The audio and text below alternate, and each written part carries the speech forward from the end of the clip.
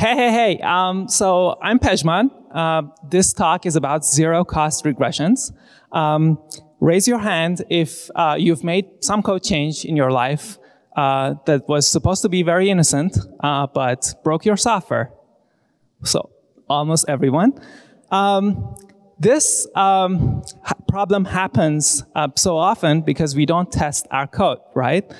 Um, because we all believe that real men or women uh, test their code in production. Well, not really. We try our best, but at the same time, uh, it's difficult because there are always these unintended side effects of the code changes that we are making. So it boils down to how fast we can find these unintended side effects. If they're after we've deployed our product, then it's very expensive.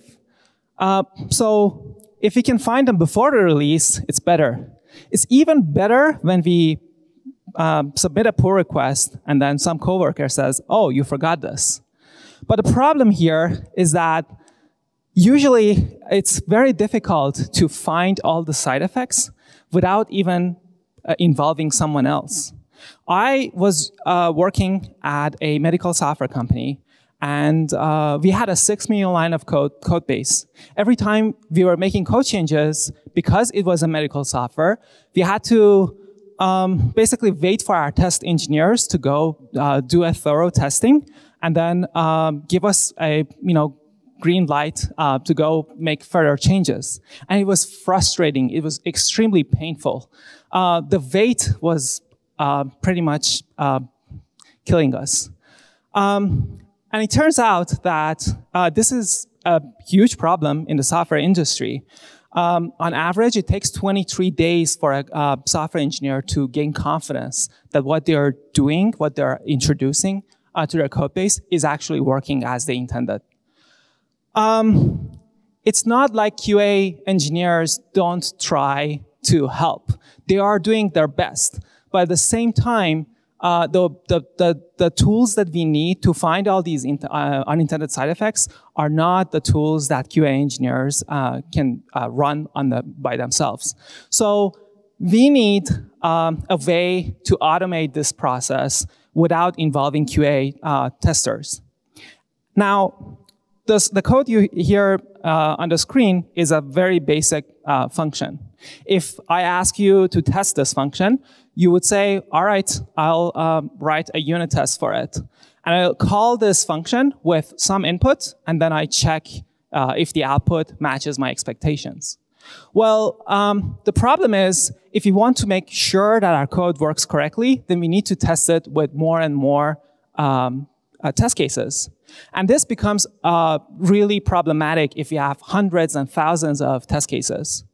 So what we can do is to actually pass each test case to our software and then see what it produces as output. Then we can serialize all this output into a file and then check these file number. When we have a next version of our code, then we have a new set of files so we can compare those uh, uh, with each other. This is actually really uh, problematic because then we end up with so much files that finding the, these differences between them is a full-time job. So can we do better? Well, I've been obsessing with this uh, for a long time, and I came up with a solution. This is um, basically a Touca library uh, that is uh, open source. So you can actually uh, write uh, a simple workflow that runs your find uh, student with a parameter that you can pass uh, from command line or on the web. And then uh, basically every time that you uh, capture stuff, we serialize them into flat buffers and post the binaries uh, to a web page where you see differences in performance and behavior.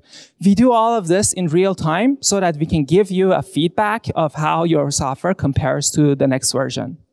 So um, this tool supports your favorite programming languages as long as it's in C++, Python, Java, and JavaScript. Um, you can run it in any environment and integrate with your favorite tools as long as they are email, Slack, and GitHub. Thank you.